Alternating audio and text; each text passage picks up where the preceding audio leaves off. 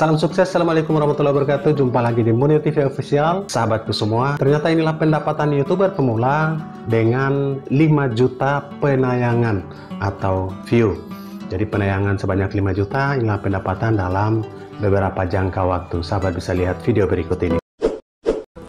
Oke sahabat, ini adalah channel Munir TV Jadi tujuan ini untuk share kepada sahabat semua agar memberi motivasi atau semangat baru dalam mengembangkan channel YouTube-nya. Ini pencapaian terbaru, kemudian ada 5 juta penayangan, dua hari yang lalu dicapai 5 juta penayangan. Kita lihat di uh, menu analisis. Di menu analisis ini, lifetime atau sepanjang waktu ada 5 juta penayangan. 5 juta penayangan mulai dari tahun 2019 di upload pertama video pada tahun 2018 kemudian intensnya di tahun 2019 mulai diupload dan uh, mulai mengembangkan channel di tahun 2020 dengan gajian di bulan sekitar bulan uh, Agustus. Gajian pertama sekitar bulan Agustus ya di sekitar bulan ini. Dengan penayangan sekitar 3000 ini sudah gajian pertama dari AdSense. Oke sahabat Sampai tahun 2021 sedikit peningkatan penayangannya dan menurun pada saat ini karena kesibukan offline. Dengan total uh, penayangan 5 juta, kemudian waktu tontonnya 258.000 jam tonton, dan subscribernya 26.300 lebih dan pendapatannya uh, sekitar 49 juta sekian. Ini hanya sekedar untuk hobi dan bukan untuk uh, menunjukkan saja akan tetapi memberi motivasi kepada sahabat untuk memanfaatkan hobi dan bakat yang sudah dimiliki. Jangan berharap uangnya, akan tetapi share saja apa yang sudah menjadi bakat dan hobi sahabat semua. Oke, dengan total 5 juta penayangan, pendapatannya hampir 50 jutaan rupiah. Semoga bermanfaat. Sahabat hebat, untuk menjadi youtuber pemula banyak langkah yang bisa dilakukan. Ada yang juga sub for sub yang aman, kemudian ada juga promosi di sosial media, atau ada yang collab dengan youtuber yang sudah ada subscriber dan viewernya yang sudah banyak sehingga bisa meningkatkan traffic dari YouTube-nya. Sahabat hebat, cara apa pun bisa dilakukan. Yang penting, yang pertama, jangan melanggar uh, hak cipta atau copyright.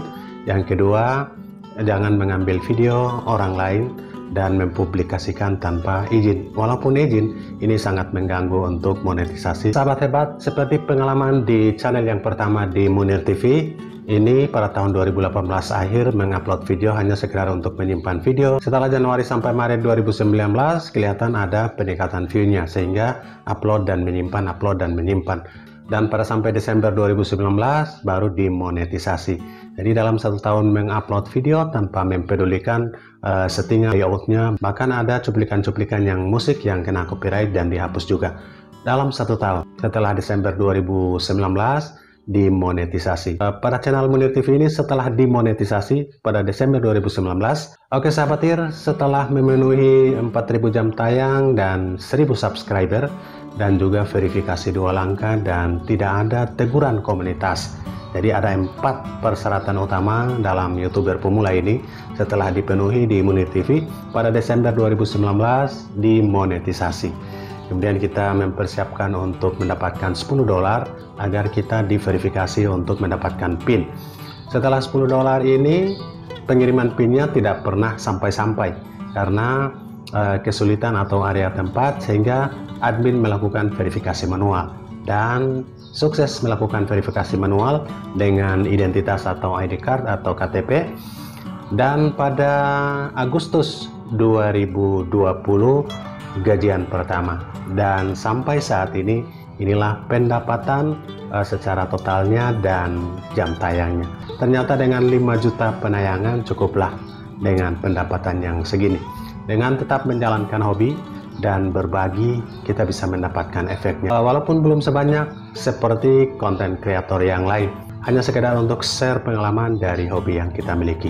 Oke sahabat hebat pada tahun 2022 tepatnya di 15 Januari membuat sebuah channel untuk tujuan mengupload keseharian uh, admin di luar dari topik tentang internet dan jaringan yaitu Munir TV official atau MTVO ini ini tujuannya untuk mengupload keseharian saja.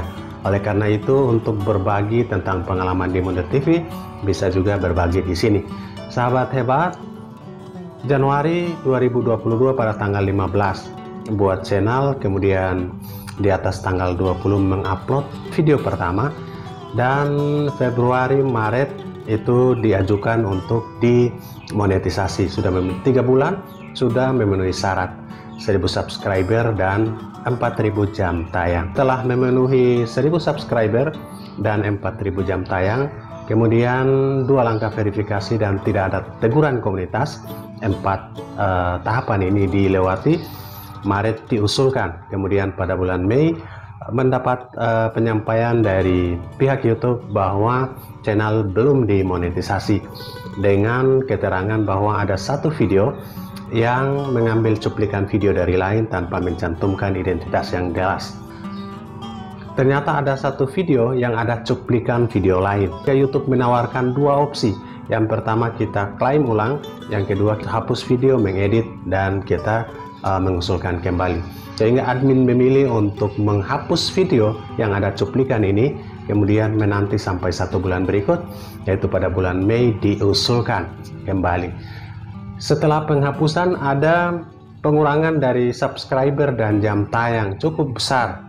Oleh karena itu admin berusaha lagi untuk memenuhi jam tayang dengan melakukan promosi di sosial media dan juga mengedit video-video sebelumnya yang tidak memenuhi syarat, memperbaiki, uh, memasukkan backgroundnya atau musiknya dan memperbaiki keseluruhan video dan mengusulkan kembali pada satu bulan berikut setelah tidak dimonetize. Yang menariknya adalah setelah diusulkan kembali hanya dalam waktu tidak lebih dari 24 jam kurang lebih 8 jam sudah bisa diterima dan dimonetize. Karena admin sudah mempunyai AdSense yang aktif pada channel yang pertama sehingga channel yang kedua ini hanya kita tautkan.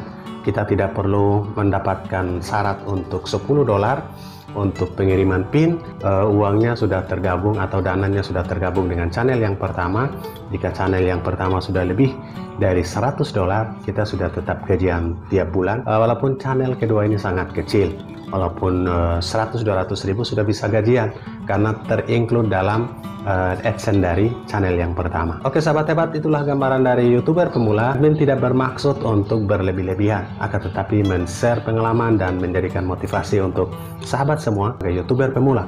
Semoga bermanfaat, salam sukses buat sahabat semua. Assalamualaikum warahmatullahi wabarakatuh.